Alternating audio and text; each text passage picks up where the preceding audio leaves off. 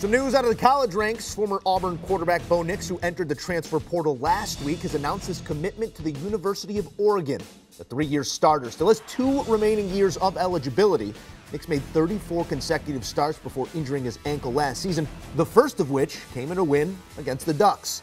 The Oregon bound QB finishing his Auburn career as the program's third leading passer all time. And here's what the 2021 season looked like for Nix, who is now headed to Eugene.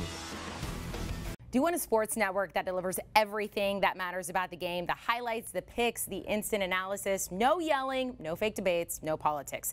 Hit the subscribe button and never miss a moment.